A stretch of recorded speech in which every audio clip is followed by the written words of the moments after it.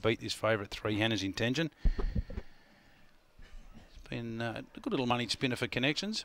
This is race two on the card. The Garrard's Horse and Hound running 312. Evens coming in now. Going in Lockie L was good the other night. And we're set to go. Race two, green line, lure rolls, favouring three, Hannah's Intention.